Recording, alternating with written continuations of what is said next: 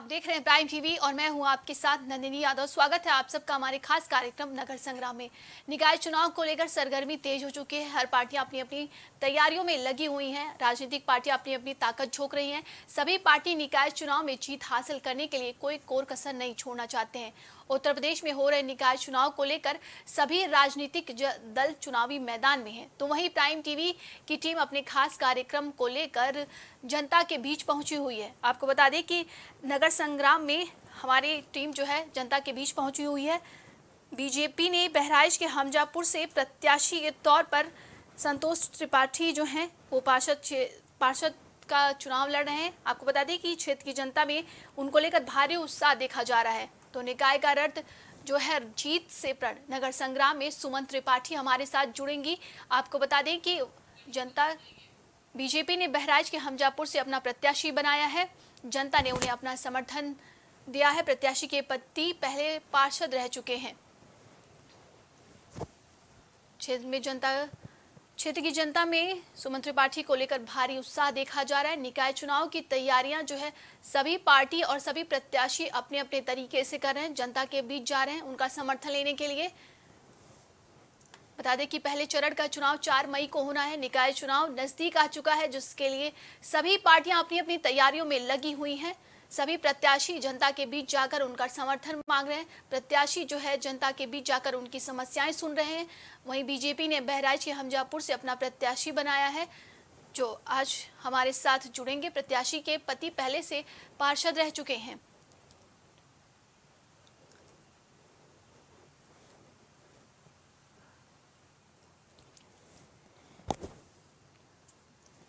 तो निकाय चुनाव की सरगर्मियाँ तेज हो चुकी हैं। हर पार्टी अपनी अपनी तैयारियों में लगी हुई है। पार्टी की तरफ़ से प्रत्याशी भी अपनी अपनी तैयारियों में लगे पड़े हैं। जनता के बीच जाकर उनका समर्थन मांग रहे हैं, उनकी समस्याएँ सुन रहे हैं। इसी बीच हमारे साथ हमारी टीम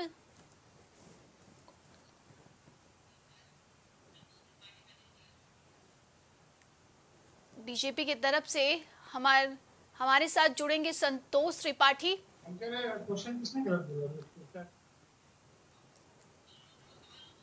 संतोष त्रिपाठी जी बहुत बहुत स्वागत है आपका हमारे खास कार्यक्रम नगर संग्राम में और प्राइम टीवी में भी।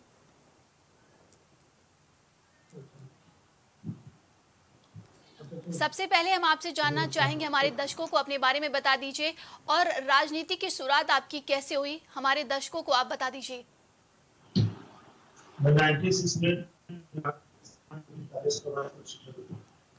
और मैं भाजपा से मेरी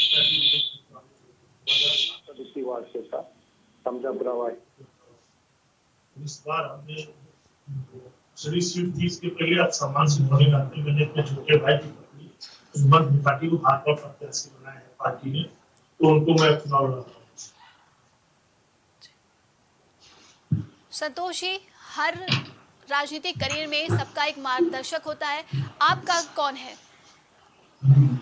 हमारा मार्गदर्शक हमारे पिताजी क्योंकि पिताजी हमारे बहुत से संगठन से जुड़े हैं और सबसे अच्छी बात यह है कि हमारा वार्ड जो है, वो पिछड़ों का, गरीबों का वार्ड है। और जब हम 2007 में सभासद थे तो बहुत से विकास के लेकिन 10 साल में मैं सभासद नहीं था, क्योंकि ये सीट पिछड़ी थी। हमारे क्षेत्र का विकास कुछ हो नहीं था आप जो पूछना चाहें संतोष जी हर इंसान की ज़िंदगी में उतार चढ़ाव देखने को मिलता है। आपने अपने राजनीतिक करियर में कौन कौन सी चुनौतियों का सामना किया है आपने? अगर राजनीति चुनौती है तो राजनीति कैसे लेकिन अब चुनौतियों को सामना करने का मेरे पास जज्बा है और दूसरी चीज़ जनता जिसके साथ होती है राजनीति उसी की पार्टी ने आपको इतनी बड़ी ज़िम्मेदारी दी है किस तौर पर आप देखते हैं इसको?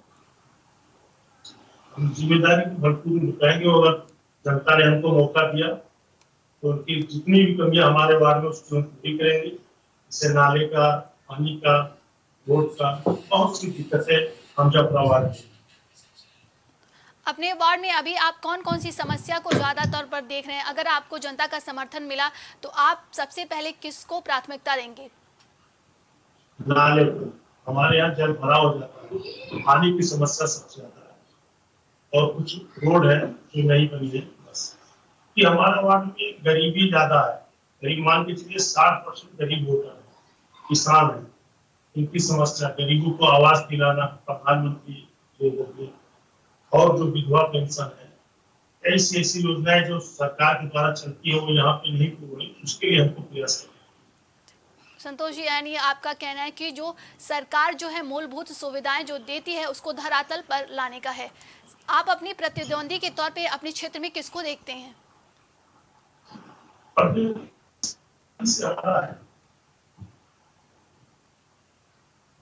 हमारे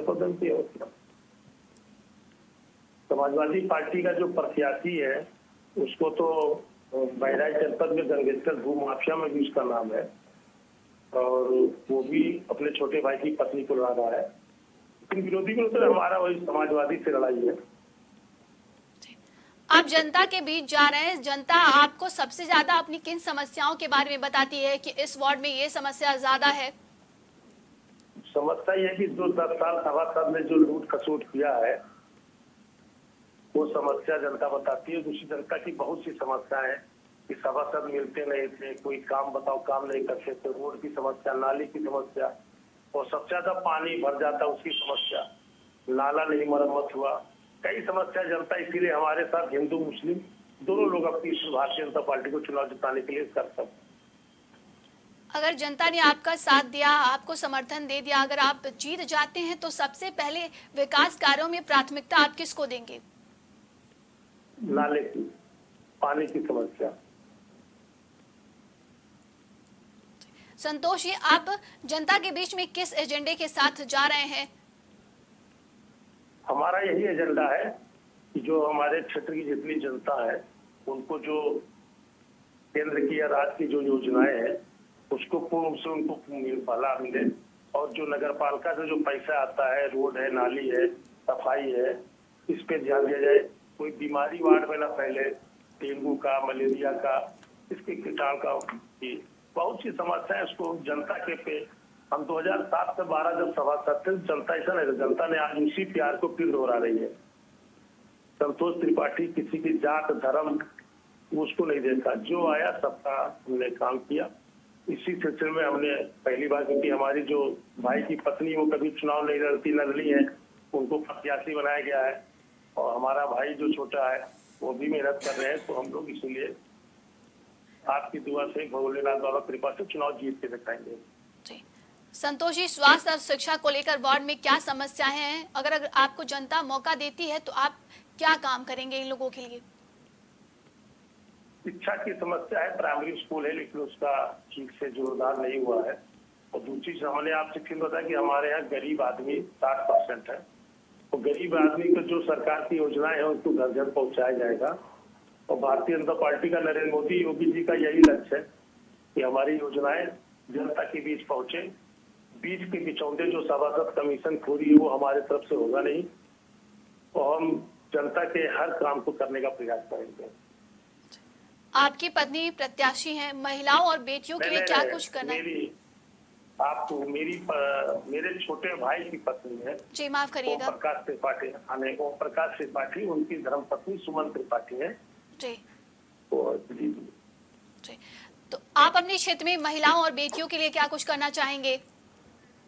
महिला बेटी हमारी वो माताएँ बहनों की कोई भी अगर दिक्कतें हैं कोई भी परेशानी तो उनके 24 घंटा हर वक्त में उनके साथ खड़ा मिलूँगा। प्राइम टीवी के माध्यम से आप क्या कुछ कहना चाहते हैं अपनी जनता के लिए और हमारे दर्शकों के लिए? दर्शकों के लिए कहना चाहते हैं कि जो पार्षद का चुनाव होता है, ये चुनाव होता है जनता के मूलभूत जो राज्य सरकार और केंद्र सरकार की योजनाएँ होती हैं, उसको फॉलो किया जाए।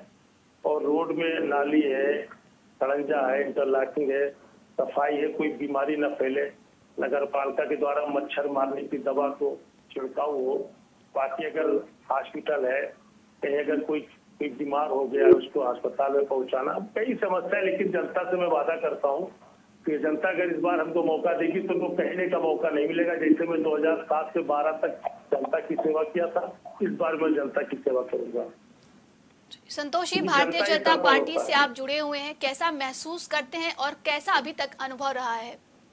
देखिए भारतीय जनता पार्टी एक वो ऐसी पार्टी जो राष्ट्र की पार्टी है।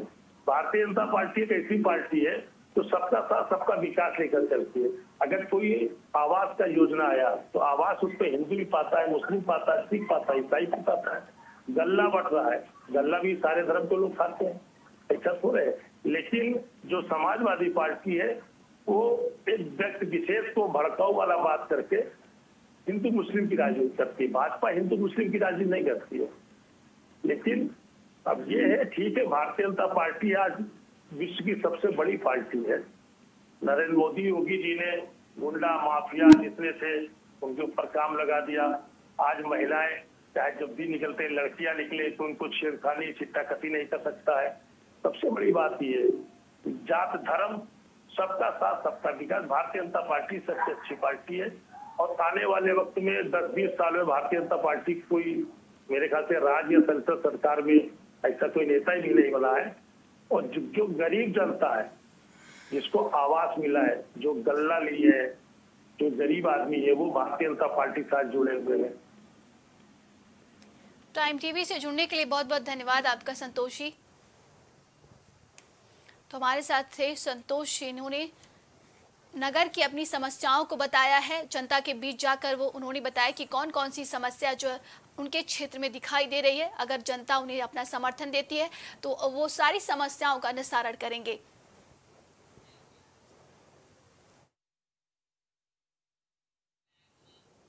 आज के नगर संग्राम में बस इतना ही। देश दुनिया की तमाम खबरों के लिए देखते रहिए प्राइम टीवी।